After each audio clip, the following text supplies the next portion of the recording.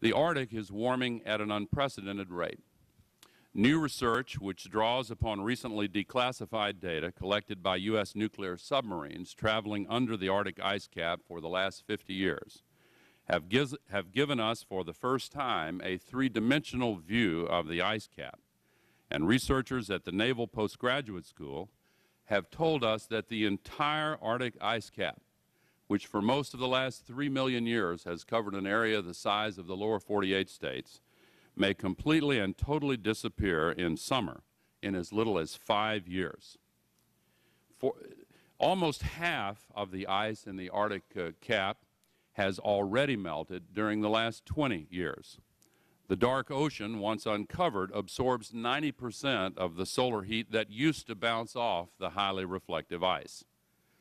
As a direct consequence, some of the vast amounts of frozen carbon in the permafrost in the land surrounding the Arctic Ocean are beginning to be released as methane as the frozen tundra thaws, threatening a doubling of global warming pollution in the atmosphere unless we take action quickly.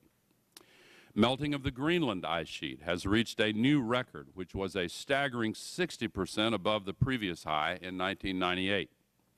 The most recent 11 summers there have all experienced melting greater than the average of the past 35-year time series.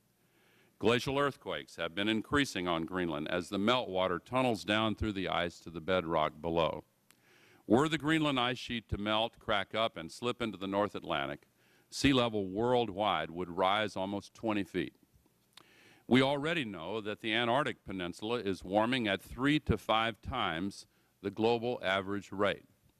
At the time when I participated in one of the first hearings on global warming on this committee in the 1970s, a researcher warned that an early alarm bell that this uh, crisis was reaching emergency proportions would be if we saw the breakup of large ice sheets on the Antarctic Peninsula. That's why the Larsen, and this warming has already caused the Larsen B ice shelf, which was the size of Rhode Island, to collapse. Several other ice shelves have also collapsed in the, in the last 20 years. Another large shelf, the Wilkins ice shelf, which is roughly the size of Northern Ireland, is now beginning to disintegrate right before our very eyes.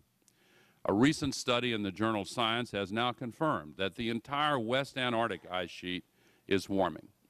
Scientists have told us that if it were to collapse and slide into the sea, we would experience global sea level rise of another 20 feet. Each meter of sea level increase leads to 100 million climate refugees. Recent studies have shown that many coastal areas in the United States are at risk, particularly southern Florida and southern Louisiana. Also, carbon dioxide pollution